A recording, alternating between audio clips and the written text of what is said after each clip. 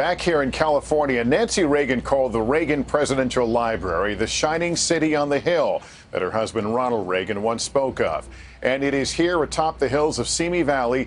Nancy Reagan will be laid to rest right next to her husband after a funeral today that brought tears and laughter and brought together a broad spectrum of notable faces, from a former president, a current, and three former first ladies, to well known faces from Hollywood and the media.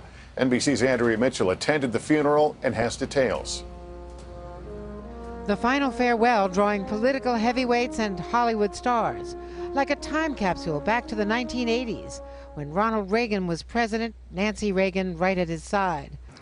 A woman without whom Ronald Wilson Reagan would never have become the 40th President of the United States or succeeded as well as he did.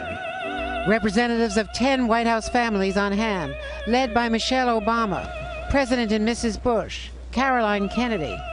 The service all planned by Nancy Reagan herself, down to the white peonies, her favorite flower, on her casket. Tributes both funny from her daughter Patti Davis. I've thought that even God might not have the guts to argue with Nancy Reagan. And sweet, our friend Tom Brokaw. So God bless Nancy, Mrs. Ronald Reagan, First Lady, and the unlikely friend of a reporter. Thank you, Nancy.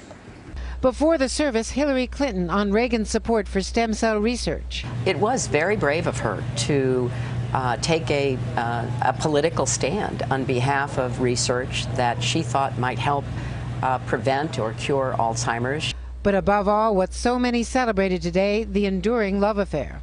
My parents were two halves of a circle. No one truly crossed the boundary into the space they held as theirs. Ronnie and Nancy, the couple that met in a Hollywood restaurant all those years ago, now together again for eternity. She will once again lay down beside the man who was the love of her life, the one she loved till the end of her days, resting in each other's arms, only each other's arms, till the end of time. As her son Ron said, Nancy Reagan did love a party, and she would want today's gathering to be a party, a celebration of her life and her legacy as Ronald Reagan's partner in the White House. Lester?